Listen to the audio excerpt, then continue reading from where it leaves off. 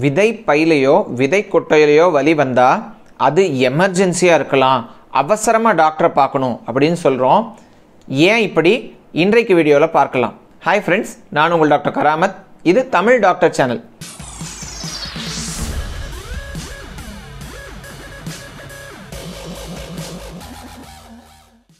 இந்த சேனலில் வார வாரம் ஒரு மருத்துவ அறிவியல் சம்பந்தமான விளக்கத்தை வீடியோ வாயிலாக வெளியிட்டு வரேன். இந்த வீடியோக்களை எல்லாம் பார்க்க விரும்பினா இந்த சேனலை சப்ஸ்கிரைப் செய்யுங்க. கூடவே பக்கத்தில் இருக்கிற பெல் ஐக்கானை ப்ரெஸ் செஞ்சீங்கன்னா வீடியோக்கள் வெளியான உடனே உங்களுக்கு தகவல் வந்து சேரும். இன்றைக்கி நம்ம பார்க்க போகிற வீடியோ விதைப்பை அல்லது விதை கொட்டையில் வலி.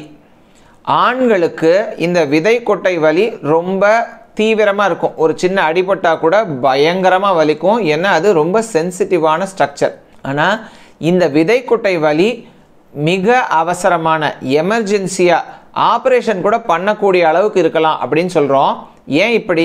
இந்த விதை கொட்டையில் அல்லது விதைப்பையில் விதைப்பைங்கிறது அதை சுற்றி இருக்கிற ஸ்கின் அந்த ஸ்க்ரோட்டத்தை சொல்கிறோம் இங்கே உள்ள வலி எதனாலெல்லாம் வரலாம்? இன்ஃபெக்ஷனில் வரலாம். அதாவது டெஸ்டிஸ் விதை கொட்டையில் வர இன்ஃபெக்ஷன் ஆர்கைட்டிஸ்னு சொல்கிறோம் அல்லது அதை சுற்றி உள்ள ஸ்ட்ரக்சர்ஸில் வர்ற இன்ஃபெக்ஷனை எபிடிடிமைட்டிஸ் அப்படின்னு சொல்கிறோம் இது ரெண்டுமே சேர்ந்து இருக்கலாம். எபிடிடிமோ ஆர்கைட்டிஸ் அப்படின்னு சொல்லுவாங்க.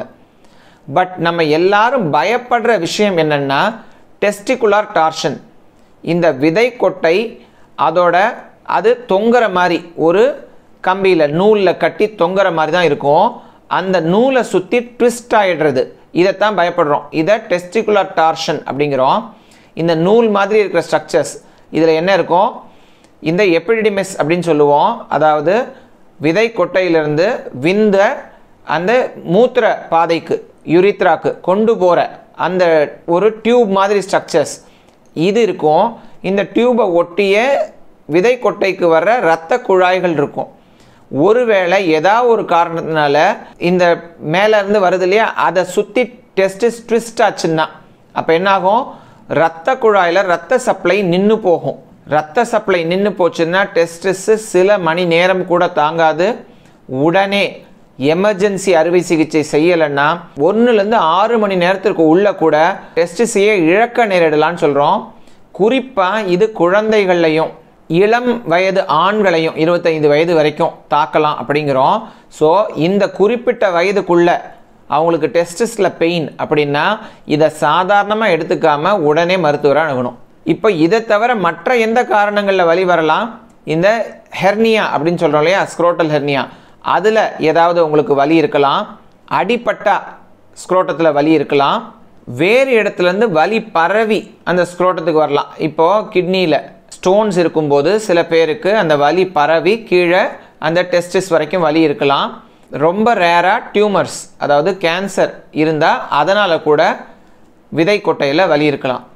ஆனால் நம்ம இந்த வீடியோவில் திரும்ப திரும்ப சொல்ல வேண்டிய விஷயம் என்னென்னா குழந்தைகளுக்கும் இளம் வயது ஆண்களுக்கும் விதை கொட்டையில் வலி இருந்துச்சுன்னா அவங்க அதை சாதாரணமாக எடுத்துக்காம உடனே மருத்துவரை குறிப்பாக அறுவை சிகிச்சை மருத்துவரை நாடி தேவைப்பட்டால் அதற்கு அறுவை சிகிச்சையை செய்ய வேண்டியிருக்கலாம்.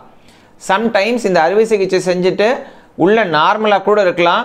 அதை க்ளோஸ் செஞ்சு திரும்ப வர்றது கூட தப்பு இல்லைங்க ஆனால் ஒரு தடவை மிஸ் பண்ணிட்டோம்னா நேரம் கடந்துருச்சுன்னா டெஸ்டிஸோட வயபிலிட்டி அதாவது டெஸ்டிஸ் செயலிழந்து போகும் அழுகி போகும் அதனால் அதை வேறு வழி இல்லாமல் அந்த டெஸ்டிஸையை ரிமூவ் செய்ய வேண்டி வரலாம். இதை நம்ம ஏதாவது அறிகுறிகள் வச்சு தெரிஞ்சுக்கலாமா? குறிப்பாக திடீர்னு வலி வரும் அதிகமான வலி இருக்கும் கூட வாந்தியெல்லாம் இருக்கலாம் ஒரு சைடில் வரும் அந்த டெஸ்டிஸ் வீங்கி போயோ சிவந்தோ காணப்படலாம். இதெல்லாம் அதோட அறிகுறிகளாக சொன்னாலும் இதெல்லாம் இல்லாமல் சிம்பிளாக சாதாரண வழியாக கூட இருக்கலாம்.